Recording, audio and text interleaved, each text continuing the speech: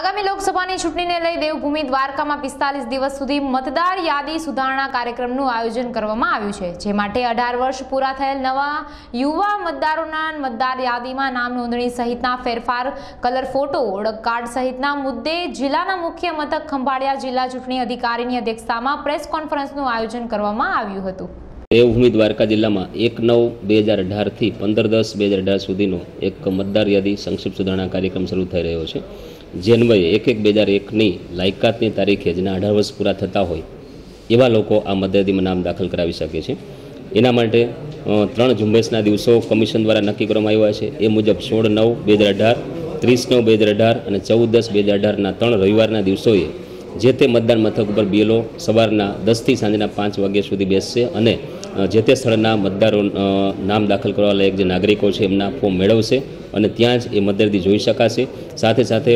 Form ભરી, form છ number ભરી નવા નામ દાખલ કરી શકાશે, સાત ભરી નામ કમી કરી શકાશે, સુધારા માટે આઠ નંબરનું ફોર્મ ભરી શકાશે અને માઇગ્રેશન માટે, એટલે કે વિધાનસભાની અંદર જ નામ બદલવું હોય, એક મતદાર મથકમાંથી બીજા મતદાર મથકમાં, તો આઠ ક ભરી શકાશે. એને સમગ્ર જિલ્લામાં આ કાર્યક્રમ એક નવથી શરૂ થઈ રહ્યો છે અને એક નવથી બીએલઓ પણ ડોર ટુ ડોર છે વેરિફિકેશન કરી અને બીએલઓ રજિસ્ટર મારફતે ખરાઈ કરી અને મતદારનો સંપર્ક કરશે અને જે કંઈ સુધારા વધારા છે અંગેના ફોર્મ મેળવશે. અને ઇવન મામદર કચેરી, પ્રાંત કચેરી કલેક્ટર કચેરી એ પણ ડેઝિગ્નેટ ઓફિસર આ ફોર્મ સ્વીકારશે અને મતદાર સુધારણી પ્રક્રિયામાં સહયોગ આપશે.